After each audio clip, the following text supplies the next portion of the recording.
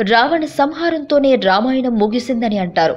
అయితే రావణుడు కొన ఊపిరితో ఉన్నప్పుడు లక్ష్మణుడితో రాజనీతి గురించి తెలిపిన విషయం చాలా మందికి తెలియదు. బ్రాహ్మణ పండితులలో ఒకడైన రావణుడి దగ్గరకు వెళ్ళి నాలుగు మంచి విషయాలు తెలుసుకోమని రాముడు తన తమ్ముడైన లక్ష్మణుడితో చెబుతాడు. ఆ మాటలకు లక్ష్మణుడు సందేహిస్తుంటే రావణుడు జీవితం గురించి రాముడు తెలిపాడు. అతడు రోజుకు కోటి శివలింగాలకు అర్చన చేసేవాడు.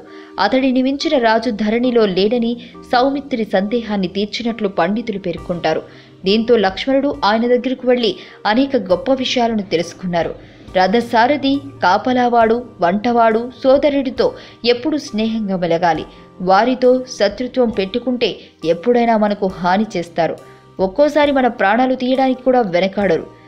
నిన్ను విమర్శించే వారిపై నువ్వు ఎక్కువ నమ్మకం పెట్టుకో. కానీ పొగిడే వారిని అస్సలు నమ్మకూడదు. ఎప్పుడు విజయం నిన్నే వరిస్తుందని ఎప్పుడు నువ్వే గెలుస్తావని అనుకోకు. శత్రువు చిన్నవాడని తక్కువ అంచనా వేయకు.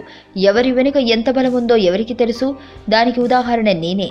హనుమంతుడిని తక్కువ అంచనా వేసి చివరికి ప్రాణాల మీదకు తెచ్చుకున్నాను. రాజుకు యుద్ధంలో గెలవాలని కోరిక ఉండాలి కానీ ఎప్పటికీ అత్యాసపరుడై ఉండకూడదు. దైవాన్ని ప్రేమించు లేదా ద్వేషించు కానీ ఏదైనా కూడా అపారమైన దృఢనిశ్చయంతో ఉండాలి. ఇతరులకు సైన్యానికి అవకాశం ఇచ్చి రాజు అలసిపోకుండా పోరాడితేనే విజయం సొంతమవుతుంది. ఈ మాటలు లక్ష్మణుడికి చెబుతూ రావణుడు ప్రాణాలు వదిలాడు.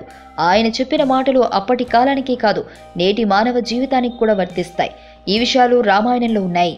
తన ప్రాణం పోతున్న ఆ సమయంలో ఎంతో విలువైన మాటలు రావణుడు చెబుతాడని అవి ఈ లోకానికి ఉపయోగపడతాయనే ఉద్దేశంతోనే రాముడు లక్ష్మణుడిని వెళ్ళి తెలుసుకోమంటాడు.